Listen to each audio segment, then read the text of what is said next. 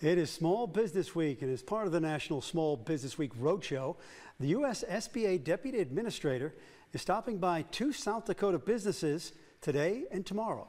The first stop for the Deputy Administrator is a veteran owned business in Box Elder. Our Humberto Giles Sanchez explains.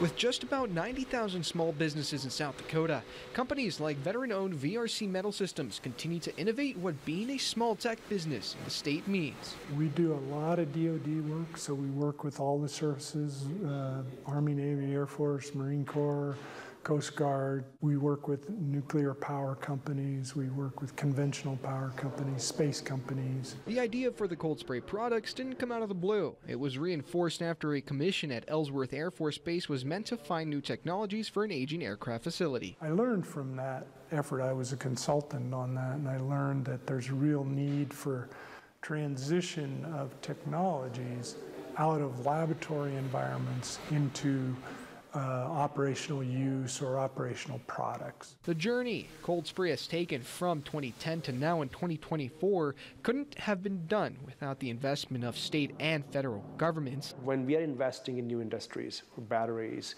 um, and others, it is going to create an, an expansion of market where companies like these can actually even have stronger prospects in their growth. That's why it's so critical that we promote um, innovation capacity within the within the entrepreneurship community. The success story of VRC Metal Systems is what US SBA encourages, not only across the country, but in those underrepresented rural regions. So this is an exciting time uh, for us to uh, build these industries, for us to um, you know welcome new businesses and, and build ecosystems that can rise uh, South Dakota in the region. According to the Biden administration, as of Monday, a record of 17.2 million new business applications have been filed in the U.S.